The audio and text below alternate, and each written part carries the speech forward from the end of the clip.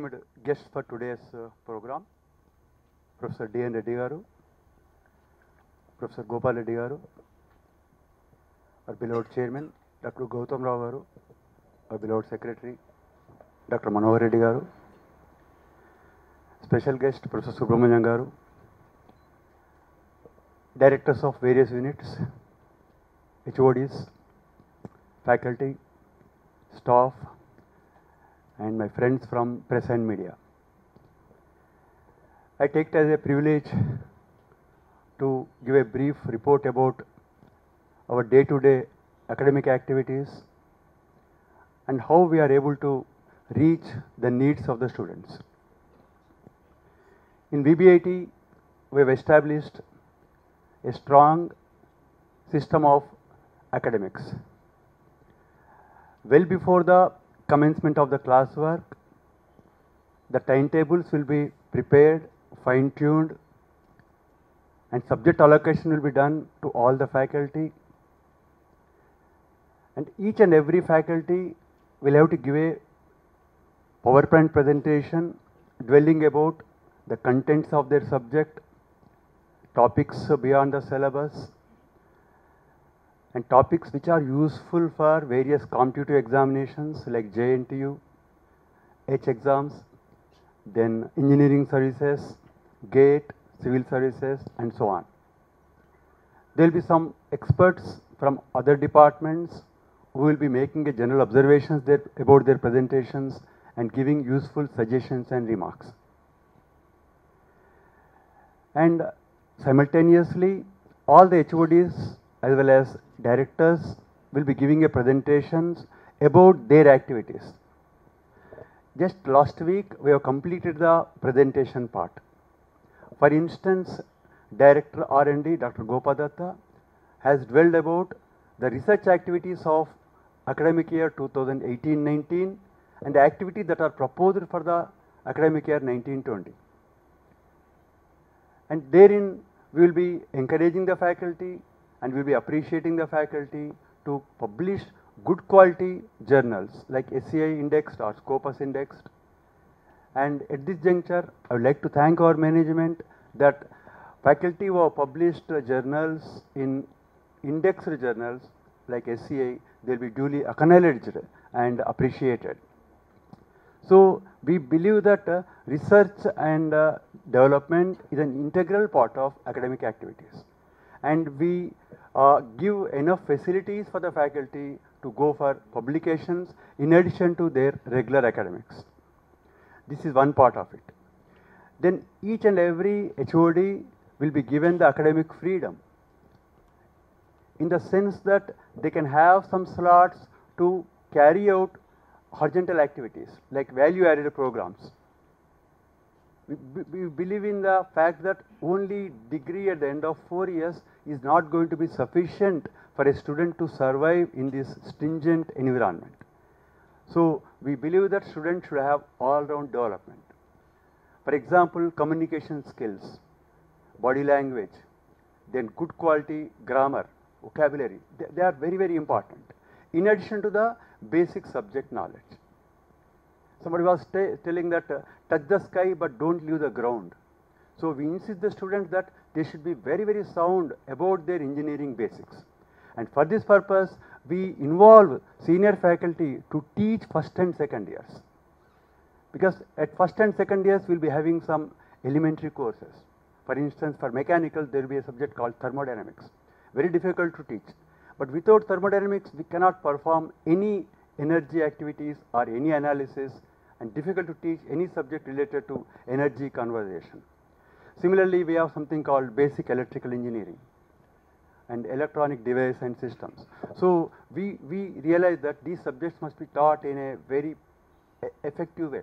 So for this purpose, uh, we request the HODs to depute senior faculty for junior classes. It doesn't mean that we ignore third and fourth years. They will be equally treated. And further, we have a very strong feedback system. We take feedback from students at regular intervals, formally as well as informally. We inquire about various academic aspects. And we have got about 20, 24 parameters by way of which we try to assess the performance of a faculty in teaching the assigned subject. If we feel that the faculty is not up to the expectation of the students, then we call the faculty individually and we tell them the feedback given by the students. For instance, uh, not prepared properly, not doing enough number of numericals. Like that, there may be some minute problems, minor problems, which we like to, which we will be addressing there and then itself. Then everywhere we will find some slow learners. VBIT is not an exception. In, in, a class of 60, we may have some 12 to 15 students. We, you are, we are not able to do up to our expectation, 12 to 15 students. And to cater to the needs of the slow learners, we have a strong mentoring system. Right at the admission, we allot one faculty for 20 students. In first year, there will be a faculty from H&S department and there will be a faculty from concerned branch. So first year, both these faculty will look into the needs of the students. Need could be academic need, need could be general need, need could be with respect to any sort of problems created by the seniors. Any type of need the student can ventilate to this uh, mentor. And after the first year, this first year faculty will get detached and the student will be uh, connected to the department mentor. And we have a mentoring book this which will be maintained by the faculty for the entire four years of the student. In this mentoring book, we record various issues, various complaints given by the students. And we inform the parents if needed by way of a call or by way of a message. And we make sure that whatever issue the students has, immediately they are resolved. Maximum at HOD's level. Very few cases will come up to my level or management level. So this sort of mentoring we'll be doing to the students on a regular basis. At any point of time, even a student of 2013-17 batch, say computer science, if you call the concerned faculty and he or she can tell about her students or his students. So that sort of care we are taking. Then there will be regular HODs meetings, minimum uh, once in a fortnight, wherein HODs will be asked to give various uh, information, various inputs about the departmental activities. And uh, these inputs will be properly taken and whatever needs the departments have will be fulfilled with the support of our uh, management.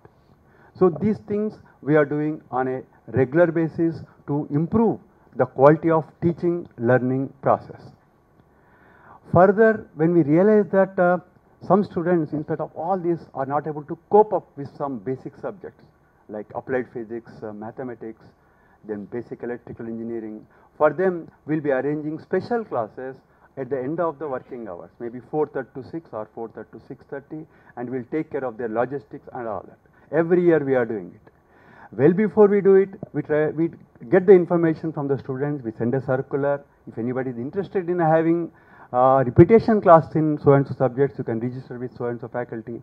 All this will be very clearly intimated to the students so that the students will get uplifted and they'll be able to minimize the problems related to some uh, subjects. This is all sorts of things we'll be doing in the front of academics. And in order to have other activities, we have got more than 24 students clubs, which are planned, the activities are planned by the students, organized by the students, and uh, very well executed by the students we will provide a faculty mentor to see that all the activities are smoothly conducted. For instance, IEEE club, it is perhaps number one in the campus. They have got number of prizes at local level, national level, as well as international level, as uh, has been pointed out or by our beloved secretary. And we believe in the society, because at the end of the day, student will have to live in the society. Life is all about giving and taking. So students will have to contribute in their respective fields. For this purpose, we have NSS, wherein students will be deputed to nearby villages. They'll be going there, identify the needs of the villagers, maybe in, in terms of sanitation, in terms of importance of water, in terms of power, in terms of education, whatever it is. And students will go over there, they will interact with the villagers, get some problems from them, then we'll try to address these problems, which may not be financially related. Maybe once in a week, a 10 students will go to a government school, teach them maths or physics, whatever it is. And these students will go and tell them about the importance of water, importance of uh, ecology, importance of using plastics. So all these things very minor, but when you look at in a broader perspective, they become very deadly. So this NSS Dhyuthi is one of the very active clubs in, in VBIT. We do have a Street Cause club wherein the students uh, will go to various parts of the city and they try to address the needs of underprivileged society. So like this, we encourage the students to participate in all these activities. And well before the commencement of the academic year, the students will be giving their proposals.